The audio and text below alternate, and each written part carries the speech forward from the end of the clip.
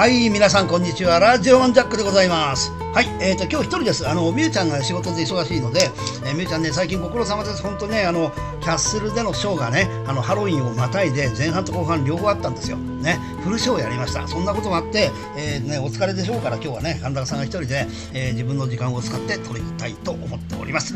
いやー、ハロウィンすごかったですよ。ハロウィン前後も含めてね、今日は語ろうと思ってます。あの、とにかく、あの、アメリカのハロウィンっていうのは日本と全然違います。あの、アメリカはね、宗教的な意味合いがやたら強くて、あの、正直言ってアメリカ人の半数以上が、もう7割ぐらいかな、8割かな、悪魔を信じてる。そういうとこですから、すごいですよ。はい、キャッスルもすごかった。ビル・グッティまでね、なんかかっこいいゾンビになってで、そのもうことも含めてね、ミューチャーの今日も含めて語りたいと思います。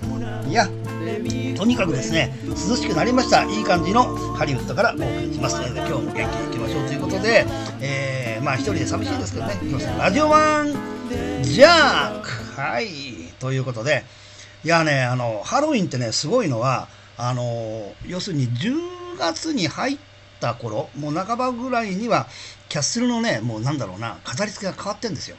ライトアップも変わってね、あの、クリスマスの時とハロウィンの時だけは全然違ったライトアップになるんです。で、中身もね、どんどん蜘蛛の巣が張ってったりとか、いろんなことして、まあね、大人のやること本気だなって感じです。日本とは違います。日本は単なる騒ぎになっちゃうんだけど、こっちはね、全部が本気。うん、すごいですよ。それで、えー、とハロウィン前にね、僕らあのあの要するに日本からお友達が来たんで、ベガスに来ました。で、ベガスはどうかっていうと、あんまりハロウィンっていうよりか、いつもベガスって感じなんですよね。まあもちろんハロウィン多少ね、あのそういう飾り付けしてますけど、基本的にはいつものベガス。はい。で、帰ってくると急にハロウィン。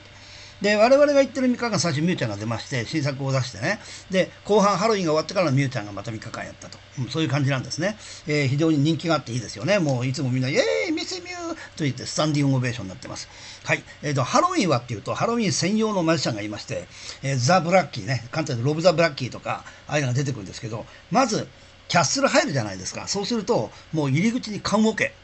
でね、缶オケの中に、はっきりとお菓子がいっぱい詰まってるんです。トリッタートリってね。チョコレートとか。俺もそれね、いっぱい毎日行ってね、毎日もらいまくっちゃうんだけど、ね。で、友達も来てたから一緒にね、もらいまくってもらいまくって、えー体中チョコレートでもうなんか血糖値が上がりまくってる状態でしたけど、で、えー当日ある時その中に入ってるミイラがあるんですね。作り物ミイラ。これが本物に変わると。人間で動き出す。で、ザ・ブラッキーのショーっていうのは、そのミイラのあそあそこから出てくるようなショーもあったりとか、なかなかね、やっぱり考えてる人が出るんですね。うん。で、えっ、と、ショーはもちろんね、ものすごく混んで見れる状態ではありません。で、私は入ったら適当なバーでずっと飲んでるだけだけど、やっぱり見てる人って大喜びで見てますね。で、お客さんもマンションはみんな格好ですが、マンションはね、たまに車に構えたアルフォンスみたいなのは普通の格好して歩いてるんですけど、ちょっとだけなんかメガネ、鼻メガネかなんかかけてね、ですぐ入ったら取っちゃうと。で、日本から来たお客さんも完全コスプレじゃないと入れないっていう日があって、そういう時はどうですか、お面を貸してもらってね、で、お面で入ったりとか、ミューちゃんの紙袋なんかをかぶって入る人もいました。うん。神高さんは今回は初日は、えーとまあ、あの浴衣着物を着まして、えー、ヤコマからもらって浴衣着物いいやつですねこれを着てそしてあ、まあ、やっぱり着物ってね楽なようで楽じゃないんですスーツよりはいいけどでその後から短パンと T シャツに首から、えーネックレス、コインのね、フーディーのコインのネックレスをかけて、あと双眼鏡の重いやつをね、からかけて、上にちょっとね、軽く羽織るような、えーなんだろうな、シャツを着て、それで帽子をかぶって、探検家できました。ね。インディ・ジョーンズになりたかったんですけど、どう見てもインディ・ジョーンズに見えないんだね。日本人だと。で、アメリカ人は、あっちこっちにインディ・ジョーンズがいるの。あれはさすがにね、そういう国だからしょうがないけど、羨ましいなと思いましたね。それで、えーその翌日からはね、少しどんどんどんどん横着しちゃって、今度ね、あの、重いからっていうんで、双眼鏡をね、つけないで行ったりとかしました。で、最終的には普通に帽子かぶっただけで短パン、まあ短パン T シャツが楽ですね。で、上に1個羽織って、一応やってるんだよっていう感をつけていくわけですよ。はい。まあ、あの、キャッスルのもちろんスタッフたちもね、どんどんどんどんみんなね、コスプレをして、なかなかすごい形で、誰だかわかんない、正直言って。だから僕らが挨拶するんで、はい、チャーリーとか言って言われてんだけど、ヘイって言ってね、うんと、全然わかんないんですね。わかんなくてもいいんだよね。で、たまにはもう本当にね、なんだろう、全く面影もないぐらいまで変身してるやつもいます。だからここら辺はね、やっぱりアメリカの本気度ってすごいなと思いました。で、料理とか飲み物もやっぱりその時限定のやつが出るんで、やっぱりあの、お金を出すと最後ね、グラスまでもらえるようなね、今回2つぐらいもらったのかな、みゆちゃんがね、いいなと思ったけど、はい、そんな感じですね。で、ショーはやっぱり僕らっていうのはミールカードっていうのを配ってくれるんで、そのミールカードっていうのはクレジットカードみたいな形で、えー例えばあの何百ドル使えるとかそういうふうになってて、それで食べたり飲んだりできる。チップをそこで払えると。ね。すごくいいんですよ。うん。で、ギャラがなんか上がったんですすごく。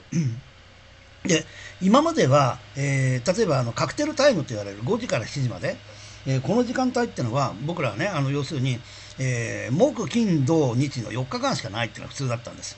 ね、キャッスルギャラ安いんですよね。で、その4日間しかないっていうのが、なんか今回は月曜からずっとあるんです。だから、 early early と言われている俗に言うあのカクテルタイムは、あの週いっぱいあって、えーと、みんなと同じギャラですね。6日間あったとしても7日分のギャラ出してくれて、あそこは良くなったなと思いましたね。うん。まあ、あのー、僕らはね、あの、今回みゆちゃんのは、まあ、お手伝いみたいな感じでしたけど、だからみゆちゃん、ホクホクです。で、ましてや、あの、最後にね、あの、ギャラもらう時に向こうは計算間違いして、えー、ごめんなさいねってことで翌日したらもっとくれたっていうのは、なんかすごいんですけど、まあ、使われてる黒人が全く使い物ない、計算できない黒人じゃねえかっていう話もありますが、はい、あんまり悪いこと言っちゃうとね、あの、引っかかっちゃいますからね。はい。まあ、あの、とにかくハロウィンはね、とにかく表も中もみんなすごくて、サンタモニカとかあっちの方だとね、すごいパーティーがあるんですよ。で、なんか、うちのね、教え子の曽根君がそのパーティー友達と行ってきたんだよって、どうだった？よかったよ。そう。あれでも全部ゲイのパーティーだよ。え、ゲイのパーティー？いや、ゲイいませんでしたよ。違うんです。全部ゲイなんです。ね。それをあの、リサ子さんに言われてびっくりしました。あともう一つね、アメリカで、えっ、ー、と、例えばね、あの、車買おうと。ね。で、え、アメリカの免許持ってないのに運転できるんですか？これみんな知らないよね。アメリカって日本の免許で運転できるだって軍事同盟国なんだから当たり前ですよね。だからアメリカ人も日本の免許いらないし、国際免許なんか使えません。ね？日本の免許持ってこないと運転できないってことを分かってほしいなと思いましたね。はい。えっ、ー、とね、それで、あの、車をね、買えるんですよ。じゃあ、買って保険も入るんだから、あ、そろそろ買おうかな、なんて本人は言ってます。はい。でも、その時に、友達からヒュンダイをね、やっぱ安く売ってくれるんだ、なんてから、絶対やめた方がいい。ね？あの要するに車の問題じゃなくて DMV に行って登録をしたりとか あとはあのあの簡単なあの排ガスのチェックであるねスモークチェックこれを通ってないのとかいっぱいあってそれを安く売って結局その3倍も4倍も買っちゃうんですよお金。でそれはね本当かしらみたいだったんですけど梨紗子さんが絶対ダメです買っちゃう。はっきり言ってくれました。梨紗ちゃん強いですね。はい。えっ、ー、とね、まあ、とにかくね、今日も、今日っていうのはね、えっ、ー、と、今日は、えっ、ー、と、水曜日なんですけど、友達が来てるんで、最終日キャッスル行ってきます。えー、日本からは、あの、とにかく峰村健二君が出演してて、昨日原弘君も来てたのかな？うん、とにかく、えー、ジェイソン・ラテマ君ってのとずっと一緒に飲んで話して、あの、ベトナムのね、なかなかいい、まあ、の、まあ、アメリカ人ですけど、俺は今アメリカが好きだよって言ったら、ありがとうって言われました。お前ベトナムだろ？う。まあいいんだけどね。アメリカに誇りを持ってくれてるとこは嬉しいなと思いましたね。さあ、これからもうね、あの、どんどんもう年末になって、今ね、冬時間です。えっ、ー、とね、冬時間ってね、面白いもんでね、突然来ます。僕らほらテレビ見られてネットだけでしょ？で、なんでわかるかって言ったら、あの iPhone の時間と自分の壁掛け時計が変わっちゃうんですよ。あれ？ね？例えばなんかおかしいな。え、あの、1時間なんか進んでるぞと思うわけ。そうじゃない。冬時間。11月から3月まで初めてのね、1年中たったもう3ヶ月もない短い冬です。でも、しかもあのプールを見ると女の子がビキニ姿で泳いでます。ね？はい。まだまだ日中は暖かくて夜は涼しいかな。過ごしやすいって感じですね。はい。ハロウィンが終わって映画も見て、ターミネーターも見ちゃいました。これは月曜、えっ、ー、とね、あさって、えー、一応ね、ちゃんと報告します。まあ、とにかくこれで、あとは日本行きまで、あの、日本の準備をするだけで良いということで、神坂さんは楽しくキャッスルに行ってこようと思ってます。最近ね、ちょっとお酒飲みすぎちゃって、ちょっとね、あの、体中痒くなってるんですよ。だからこれだけね、少し控えなきゃいけないかなってことで、えっ、と、今週終わったら、うん、1週間またね、金曜まで、うん、キャッスル行かないで少し禁止もしようと思ってますね。あの、とにかく最近のいいことが悪いことが早い時間に眠くなっちゃう。早起きちゃうから。それで9時とか10時ぐらいにも寝ちゃうんですよ。そうすると目が覚めるのはどんなに深く寝ても4時でしょ。ね。だから日記アップとかラジオアップの時間帯もどんどん変わってきちゃって、まともな時間にアップできないんです。ね。だからそういうことも含めて神高さんの生活としては、まあでもね、どうせ12月もあった時差ボケがあるんだから、任せに任せて、うまくやろうかなと思ってます。はい。えー、まあね、日本酒飲んで焼酎飲んで鍋食ってとかいう、そういう生活もしてるんですけど、やっぱり日本で美味しいもの食いたいなっていうのが正直なあれですね。何食いたいと思いますか？えっ、ー、と、今日はね、今回はビル・グッティンが僕と別々の行動をするので、えー、ビルの食事を考えなくていいという最高のことです。ここ一番のカレー。これ絶対食いたいですね。はい。あの、もちろんうなぎとかいろんなね、美味しいもの食いたいですよ。フグも食いたいし、いろいろあるけど、ここ一番のカレー食いたいなと思いましたね。あと、カツ丼とかね。要するに、案外日本料理っていうかもうそういうような料理ね。うん。ラーメンも食いたいですね。あの、はっきり言ってね、ビルと、あの、もう一人、えっ、ー、と、ボビーは食えないんですよね。それが残念だったってことで、今日はこれまでにしようかな。はい。えー、楽しく話させていただきました。えー、ラジオマンジャックですけど、来週はミューちゃんに出てもらいます。はい。どうもありがとうございました。よろしくどうぞどうもね。ということでさよならです。ありがとう。この番組はあなたの街のエンターテインメントウィザードインがお送りしました。